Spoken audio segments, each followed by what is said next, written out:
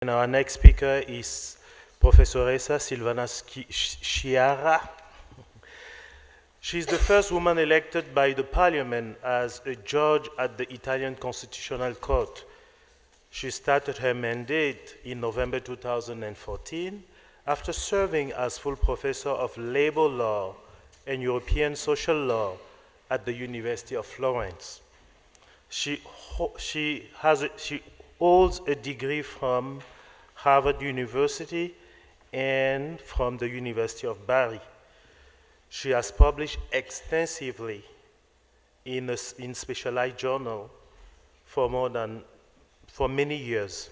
She published especially in the Journal of uh, Labor Law and Industrial Relations.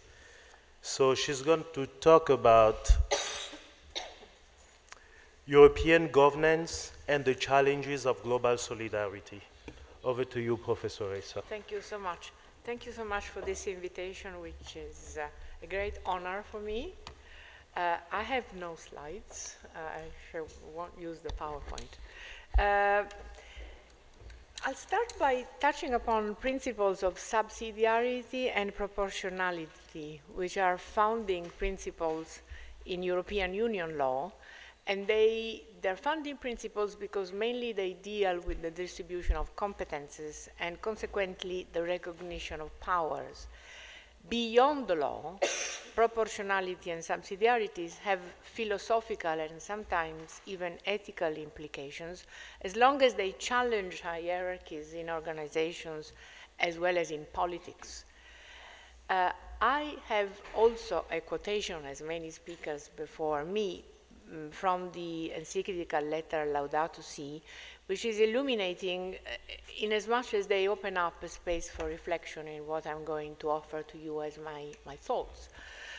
And the quotation is number is point 196. Let us keep in mind the principle of subsidiarity, which grants freedom to develop the capabilities present at every level of society while also demanding a greater sense of responsibility for the common good from those who wield greater power.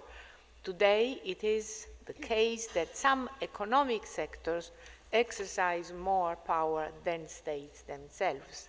But economics without politics cannot be justified, since this would make it impossible to favor other ways of handling the various aspects of the present crisis. End of quote. In the current discussion on European governance, and I'm happy to see that there are so many links with my, the speaker before me, although we had never met before, uh, this passage of the encyclical letter, which is mainly referred to environmental issues, uh, is the right key to hold uh, if we want to enter some of the most controversial points I want to address. I will present a controversial notion of governance, which does not mean that I am uh, negatively critical of the concept itself. But uh, first I want to mention an important source in European Union law, which is the Charter of Fundamental Rights, which is now binding law by all means in European, uh, in the treaty, it's attached to the treaty and is now binding law, where again uh, we find the principle of subsidiarity, which means the following point, very important for lawyers the provisions of the Charter are addressed to the institutions, bodies, offices, and agencies of the Union. So subsidiarity really in this uh, context is a reminder of institutional responsibility. Institutions in the end must be responsible for the enforcement of rights, in this case of fundamental rights. Uh, and, and, as my previous speaker, if I understand correctly, I do not embrace theories on the end of state. I think states are still significant in uh, um, guaranteeing the enforcement of rights. They are uh, at state level and at international level, so in international law. Neither I think that subsidiarity should be confused with pluralism. This is why uh, sometimes the notion of governance, in order to be correctly understood, needs to be contextualized, and it's what you did in your speech before. Um, mm, let us look at economic governance in the European Union now. It's a very technical apparatus of norms that was actually uh, uh, maybe uh, brought to some closer and possibly more coherent uh, context uh, during the financial and economic crisis. And this point is strictly related to an issue that I want to underline, and that's the issue of representation, especially for weaker and marginal groups, the ones that were most uh, severely, uh, that were most severely hit by the crisis. Perhaps the issue of representation, the way I present it, is very close to the notion of legitimacy that you pointed out before. And the other point I want to make is uh, the challenge or perhaps the many challenges to solidarity, uh, which again, solidarity has to be considered a founding principle of European Union law.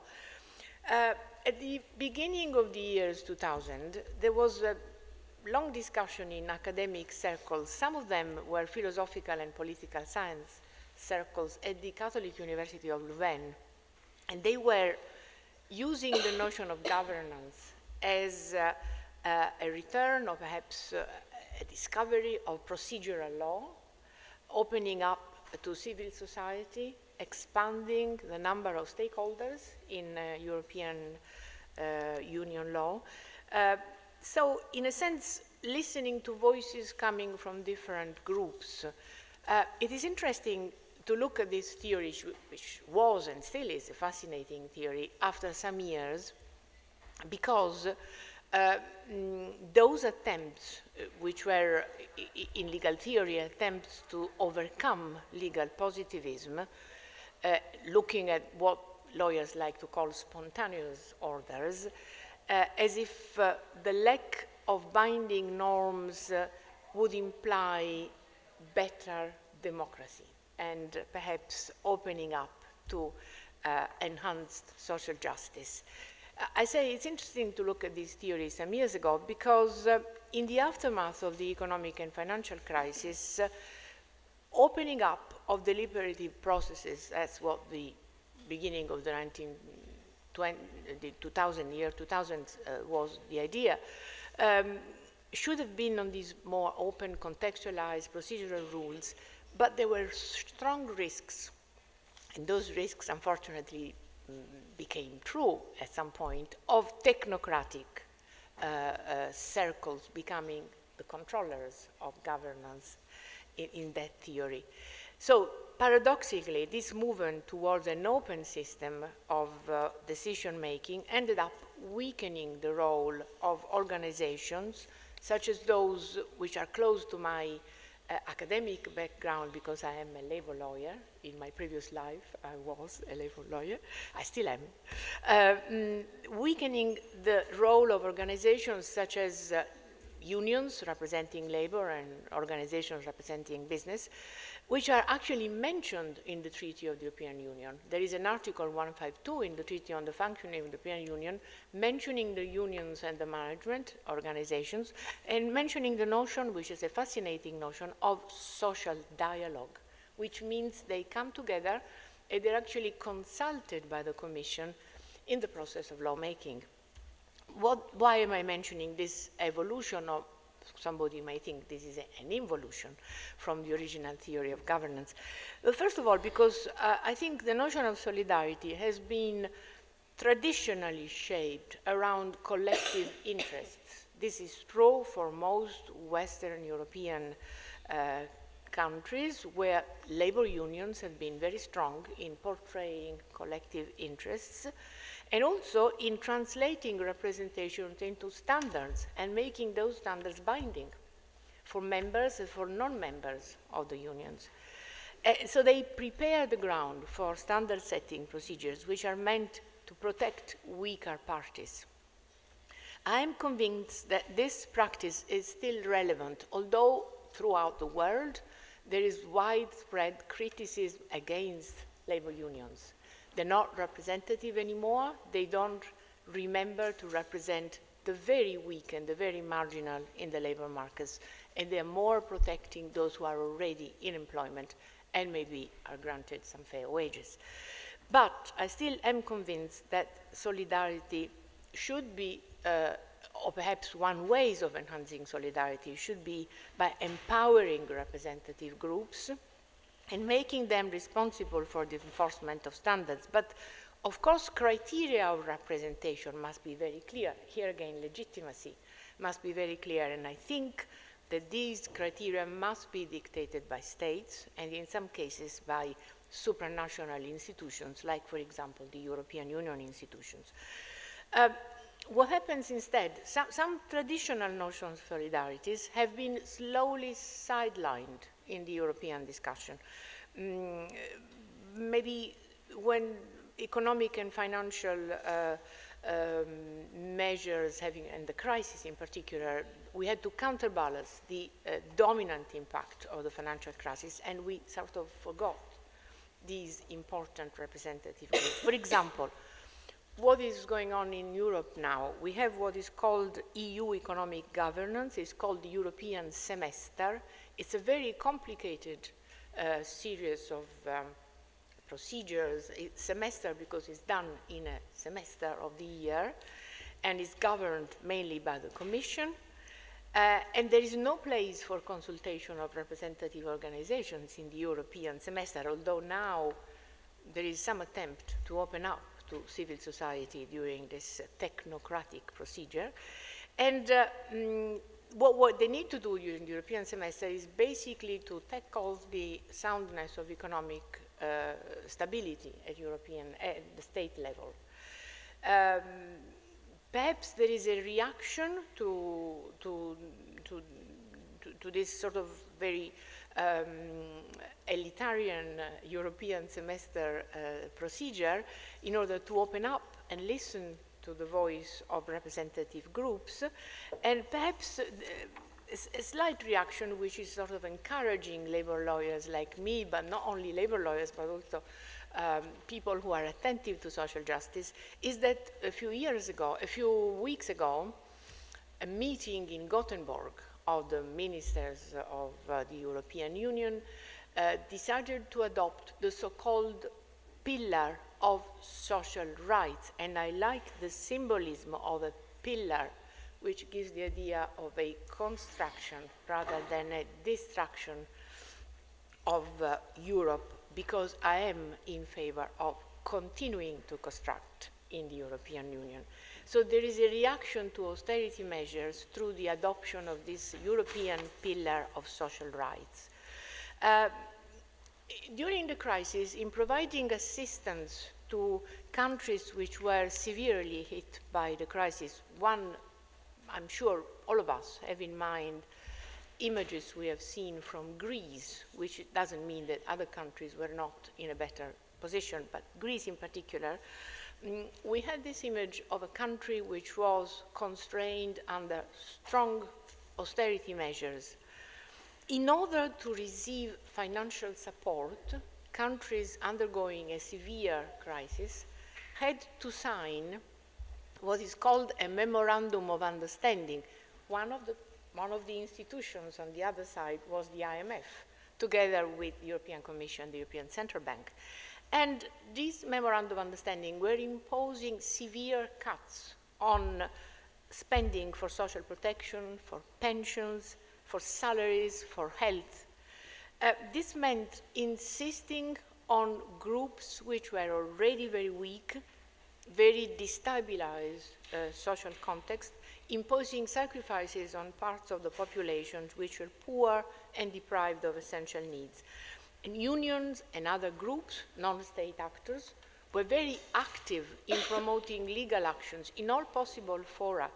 And one international organization, the ILO, which sits in Geneva and it's a tripartite organization and is in a sense, the counterpart of the WTO. They don't like each other very much. Uh, the ILO was incredibly active in promoting uh, social justice in these countries, in Greece in particular. Now there is a widespread literature criticizing the way austerity measures have been enforced in Europe. And there, has been an attack on solidarity Um, and there is a call now for inventing new legal ways of uh, measuring ex ante the economic and social context and not imposing sacrifices. We hope there won't be need again of austerity measures, who knows, but not imposing sacrifices again on the weakest.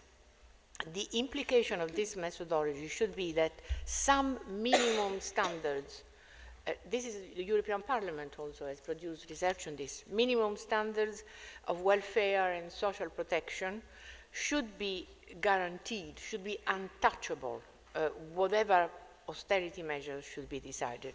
And the principle underlying all this uh, stream of thinking is respect for dignity. I'm, I'm happy to have heard the word this morning during the some of the discussion that I followed from this morning panel, uh, dignity is after all an individual right. Again, it's present in the Charter of Fundamental Rights of the European Union. It's an individual right which permeates the principle of equality. And I have mentioned so far challenges to solidarity, which are challenges to fundamental principles of EU law, because we have, as I said, dignity and equality in the in the European Union law. For example, there is a constant challenge to the principle of equal treatment whenever some groups of the population have been treated differently from others. For example, younger versus older workers, men versus women, pensioners versus poor. How can these distortions uh, the principles of equality be corrected and should be in, who should be in charge of correcting these uh, disequilibria. Courts, and in particular constitutional courts, and I'm talking of my new job, uh, they have been central in the wake of the crisis. Many European constitutional courts have been addressed with challenges to austerity measures, um, and these are challenges to, to solidarity, because solidarity has strong constitutional implications in many, many fields of constitutional law, solidarity is a principle. And, and courts may, uh, at this point, be tempted or may be pushed to acquire a, an activist role in setting the borders of solidarity, taking into account financial constraints, but nevertheless setting the borders of solidarity. Uh, are courts representatives? And, and, should they occupy the scene of legislators? My, my uh, answer is no. I strongly believe they should not occupy the space of legislators. They should be the guardians of solidarity. They should constantly monitor the, that fundamental rights are respected and do not become subordinate to market rules. They should consider challenges to solidarity whenever they imply challenges to fundamental rights. They should alert the lawmakers when challenges are transformed into infringements of law, and this happens very often. So judicial activism, which could be uh, for some people a solution or happens to be a solution, is not the best way, I think, to enhance solidarity, although I do acknowledge the importance of constitutional courts in assessing the balance of powers and the balance of rights.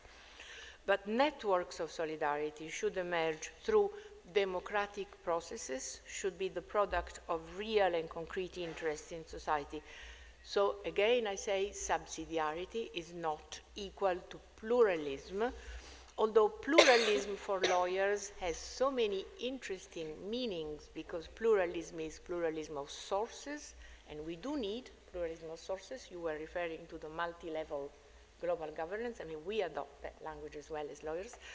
Um, pluralism of actors and of lawmakers. There are many lawmakers beyond parliament. And uh, mm, evocative again in Laudato Si is this notion of open systems, open systems, which are also open systems of norms in connection to, to each other. Um, so I have so far described two systems of representation which should be vehicles of solidarity, in my view, one system is groups which are rooted in society, they're holders of collective interests, They are responsible for the enforcement of standards, representative groups which should prevent inequalities and enhance fairness and justice. The second set is national parliaments, which should translate solidarity into binding norms, guarantee the rule of law, as you mentioned, uh, establish priorities, select the measures, uh, and provide support. But national parliaments in Europe are also responsible for the enforcement of European law. And here comes the critical point because we would like the European institutions to be as active as national parliaments should be in enhancing solidarity. This is a slight critique which does not imply an overall negative evaluation of what Europe is doing, but it's just uh, for somebody like me who has been uh, working in European social law for many years, th there is a slight frustration in not seeing enough of that law being now promoted through European institutions brought to the stage of legislation.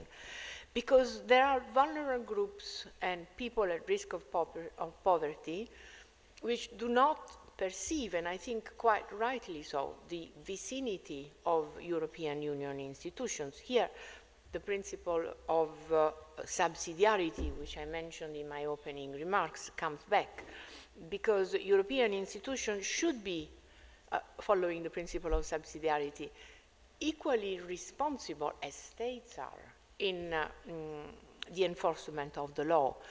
Uh, although at the periphery of supranational systems, like the legal uh, system of the European Union, we find some answers to all these challenges because we do find active groups at the periphery of legal systems providing solidarity measures. But I'll just make the example and then i am very close to the ending of my presentation, the example of wage policies, because I do think that this is crucial in the current discussion.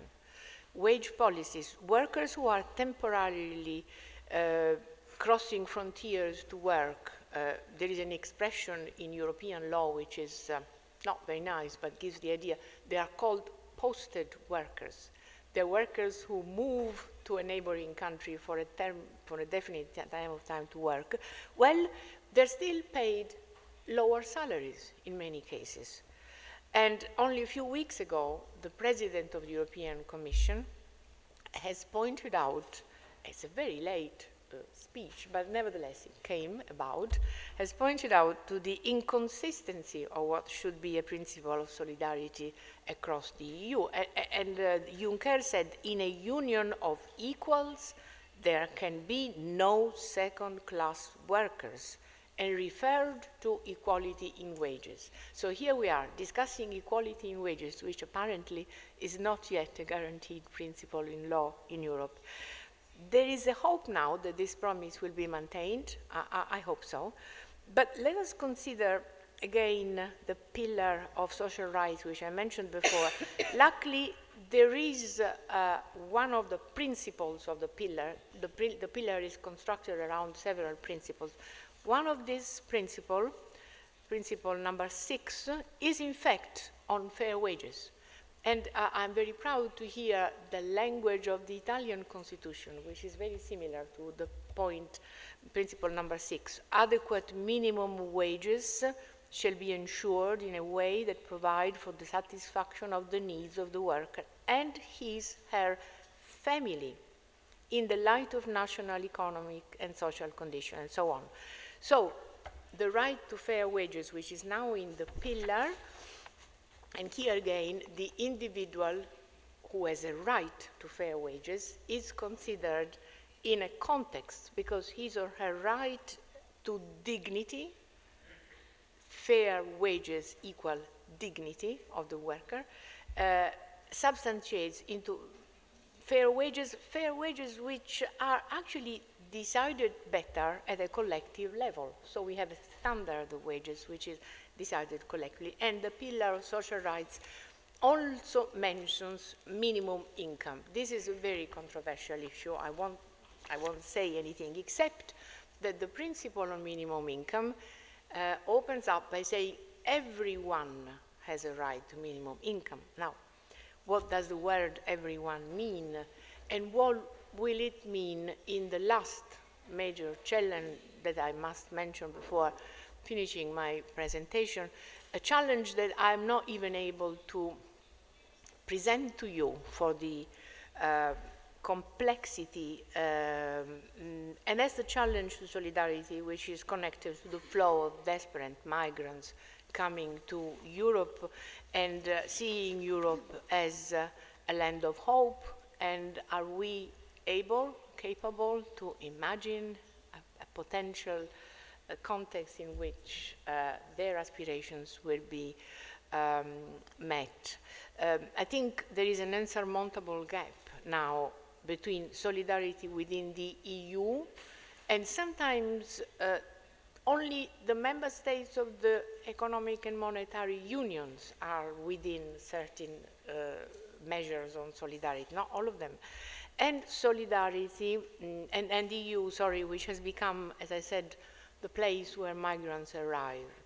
And back to the encyclical letter I mentioned uh, before, economics without politics makes no sense. Uh, so governance techniques in the European Union have contributed, and this is my negative criticism, which as, again does not cancel or erase the positive evaluation of European developments I still maintain, but governance techniques at some point have meant some sort of depoliticization. Hmm? Depoliticizing, what is the word? That one. Uh, which meant deliberative processes have been taken away from politics.